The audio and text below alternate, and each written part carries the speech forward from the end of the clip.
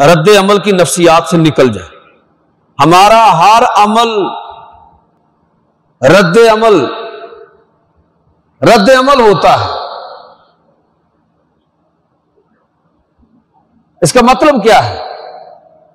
कि रद्द अमल की नफ्सियात से निकलने का मतलब यह है कि अगर कोई शख्स आप पर तनकीद करता है, आपके मुफादात मुतासर हो रहे हैं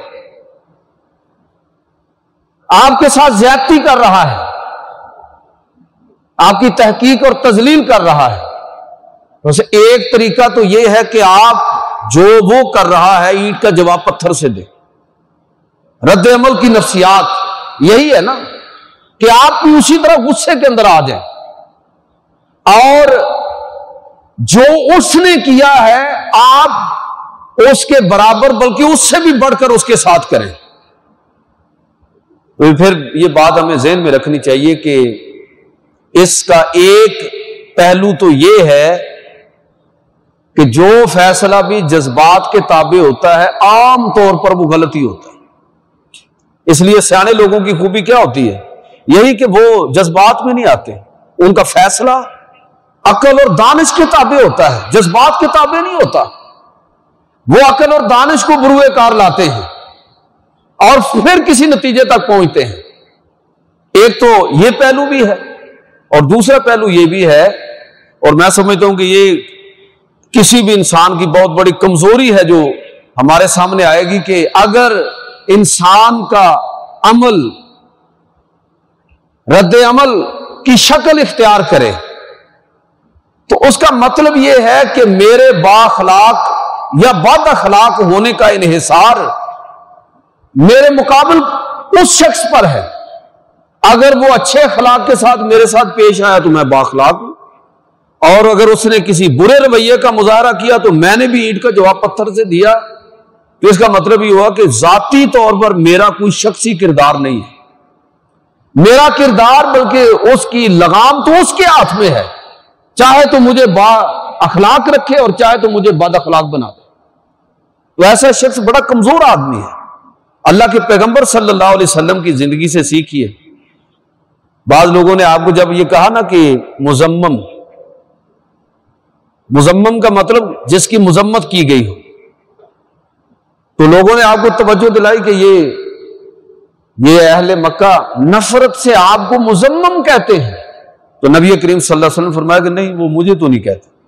मैं तो मुजम्मम नहीं, मैं तो मोहम्मद हूँ, सल्लल्लाहु अलैहि वसल्लम। मैं तो मोहम्मद हूँ, तारीफ़ किया गया।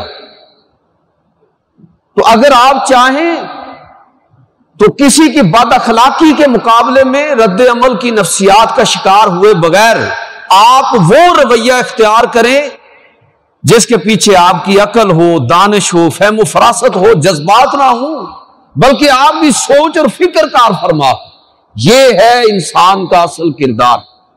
और अल्लाह के नबी सल्लल्लाहु अलैहि वसल्लम ने हमारी यही तरबियत फरमाई, क्या लोगो, अगर ज़िंदगी में मुतमिन रहना चाहते हो, और ज़िंदगी से लुत्फानंदाज, लुत्फानंदोज होना चाहते हो तो ये ना देखो कि लोगों का अमल क्या है।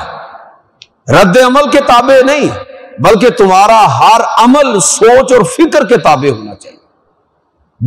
जज्बात के ताबे नहीं, बल्कि अकल के ताबे तुम्हारा हर अमल होना चाहिए। इसीलिए हजूर सल्लल्लाहु अलैहि वसल्लम ने फरमाया ना कि लैसल वासिल बिल मुकाफी वलाकिन वासलाहा। हजूर ने फरमाया कि सिला रहमी करने वाला, एहसान करने वाला, दूसरों के साथ मेहरबानी करने वाला शख्स वो नहीं है जो बदले में ऐसा करे।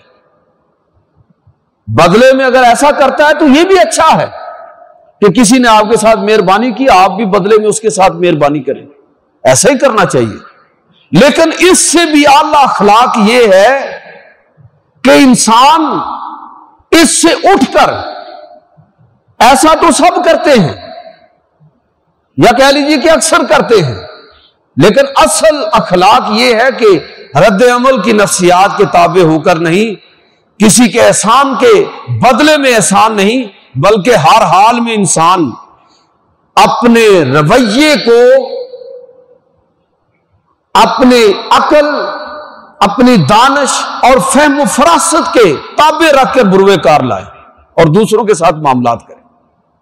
एक मौका पर अल्लाह के पैगंबर सल्लल्लाहु अलैहि वसल्लम ने इरशाद फरमाया कि मिनल कबायर शतम राजुल वालदे अब्दुल्ला बिन उमर रज़ी अल्लाह तवायत फरमाते हैं कि अल्लाह के पैगंबर सल्लल्लाहु अलैहि वसल्लम फरमाया कि वो शख्स कबीरा गुनाहों में से यह है कि कोई शख्स अपने वालदेन को गाली दे। कालू या रसूल अल्लाह हल यश तुम राजुल ही साहबा ने अर्ज़ की कि अल्लाह के रसूल, क्या कोई शख्स अपने वालदेन को भी गाली देता है? तो अल्लाह के पैगंबर सल्लल्लाहु अलैहि वसल्लम फरमाया, काला नाम यसुब्बु अबर राजुल फयसुब्बु अबाहु वयसुब्बु उम्माहु फयसुब्बु आप सल्लल्लाहु फरमाया, हाँ, ऐसा होता है कि एक शख्स किसी के बाप को गाली दे, वो बदले में उसके बाप को गाली दे। कोई शख्स किसी की माँ को गाली दे और वो बदले में उसकी माँ को गाली दे तो अपने वालदेन को गाली निकलवाने का सबब कौन बना है? वो शख्स वो शख्स खुद उसका सबब बना है। तो इसका मतलब यह हुआ कि सही उसूल और तरीका क्या है? असल चीज़ क्या है? वो ये है कि मेरा और आपका अखलाक और किरदार रद्द अमल की नफ्सियात पर मबनी ना हो, बल्कि इमाम गजाली रहमत ने जो अखलाक की तारीफ़ की है, बड़ी ज़बरदस्त तारीफ़ है। कहते हैं कि अखलाक नफ्स की उस रासफ कैफियत का नाम है कि जिससे आमाल पूरी सहूलत के साथ सरजद यानी इंसान बगैर सोचे समझे भी उसका मिजाज ऐसा बना है कि बगैर सोचे समझे भी अगर उससे कोई अमल सरजद हो तो वो अखलाक पर मबनी होता है। ये है अल्लाह तरीन अखलाक। रद्द अमल नहीं, सोच और फहम किताबें इंसान का अमल हो। और ये बात हमें जहन में रखनी चाहिए कि अगर एक दफ़ा एहतराम की रवायत अगर तोड़ने का मिजाज किसी फर्द के अंदर पैदा हो जाए, एहतराम की रवायत तोड़ने का मिजाज अगर कौम के अंदर पैदा हो जाए तो फिर जेन में रखिएगा कि ऐसा शख्स जो गैरों को गाली गलोच करता है, दूसरों की इज्जतों के साथ खेलता है, एक वक्त आएगा जब वो अपनों की इज़्ज़त के साथ भी उसी तरह खेलेगा। इसलिए कि मिजाज ऐसा बनता है। इसलिए कौमी जो हुक्मरान हैं, जो लीडर हैं, जो ओलमा हैं, जो सहाफ़ी हैं, जो मौसर तरीन तबकात से ताल्लुक रखने वाले लोग हैं, उन पर ज़्यादा लाजम है कि वो कोई ऐसा अमल ना करे जिससे कौम के अंदर बद अखलाकी उसको प्रमाण चढ़े।